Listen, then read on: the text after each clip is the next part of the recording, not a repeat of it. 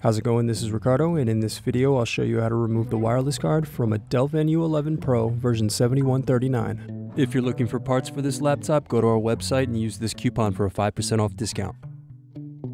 First, pry up and unsnap the access door. Then slide the latch over and remove the battery. Then unplug the antenna cables. Now unscrew and remove wireless card.